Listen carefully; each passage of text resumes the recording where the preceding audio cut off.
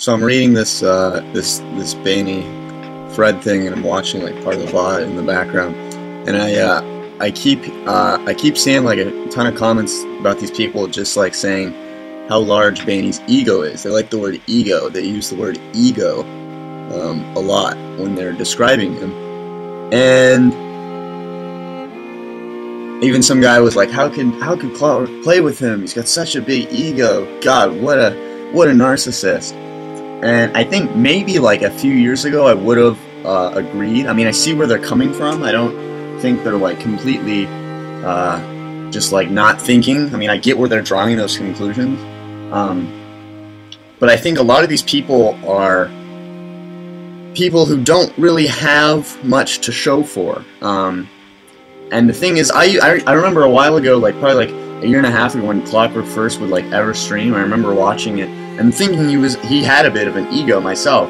Um, and then I kind of realized that uh, this is the one of the best people in all of TF2, the most skilled uh, players. He's better than me by far. He's better than 99.9% of the player base by far. Um, and what people don't seem to understand is that when you're extremely good at something, um, it becomes difficult to deal with people who are not as good. It becomes difficult when you understand how well things, you understand things extremely wholly, and so uh, when something doesn't go your way, um, kind of accidentally or not deliberately, um, or when someone wins and it's not like you can, because you understand how things work so clearly, you can tell that it wasn't um, really that intentional.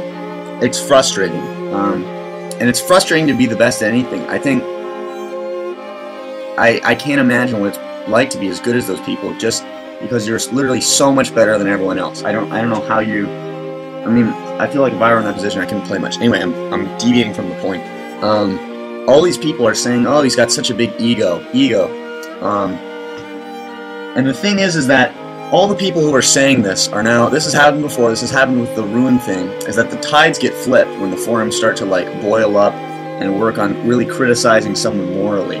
Um, because it's the only way they can take them down, because they can't criticize, because these people are the best. They have the talent, they have the actual skill.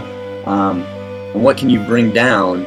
Um, it's anything that they do wrong, because these are the people who live their lives on streams. But the people commenting this, the people saying ego, um, I can guarantee you they have uh, just as many issues with their personality or many things that they've said that they wouldn't be too proud of. Um, but I think worse than that, those people, the people who say ego, um, these are the people who are stuck in life, and they're going to be stuck for a long time um, because everyone around them who achieves success, they're going to tear down.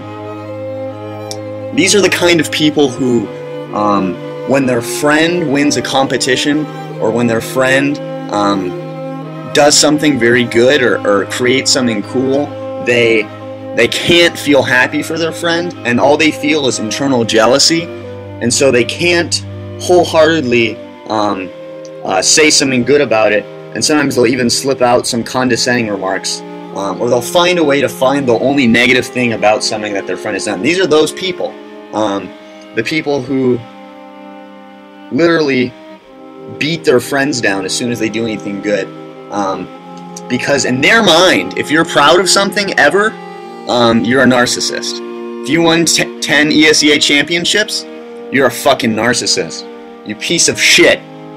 How dare how dare you be proud of the fact that you've spent so much time? How dare you? You fucking ego prick. This is this is the way these people think. And this is why if you look at most of them, they play video games most of their life all the time. Um, and now I'm not saying that there's something intrinsically impure about this, but they're they're using it as a void to fill the emptiness, to fill the fact that they haven't done anything, um, and that they're lazy or they don't have skill, or that they are on the bottom of the totem pole. And because you can you can play video games all the time and have success if you if you if you apply yourself. But this is then again only one percent of the community at most you're seeing really apply yourself. Even among like the invite or whatever, there's always the the people who just have good DM because they have like 6k hours, um, but they're still screwing around and they'll never really win. They'll never pull it together. You know what I mean? Those people, they'll never pull it together because they're not really pushing themselves. It's a void. They use it to fill the hole in their life.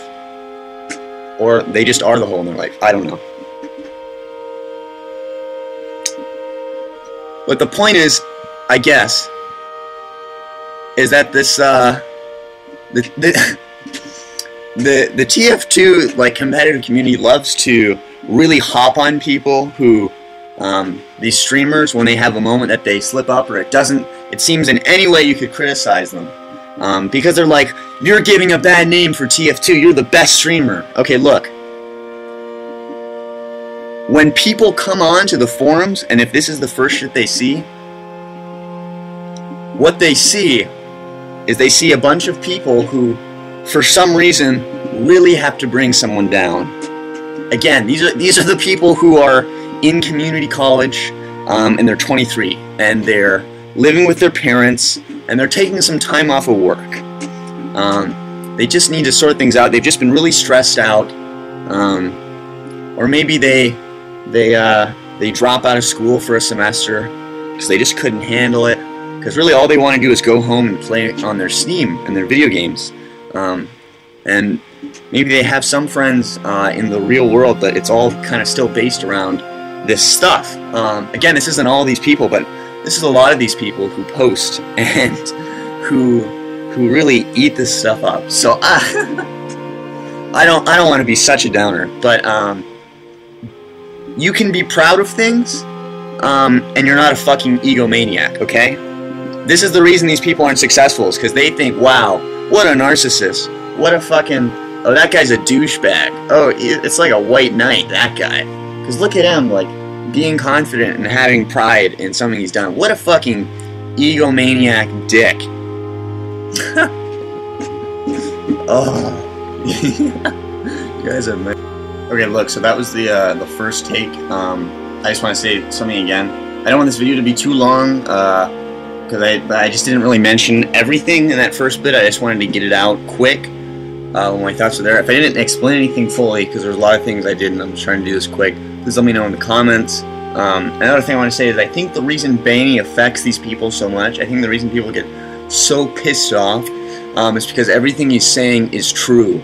Because um, everyone else does have nothing to show for it, and he says that. Um, and they're they're the everyone who's playing the game, um, and for the most part, it's been a waste of their life. It's like a negative effect on their social confidence.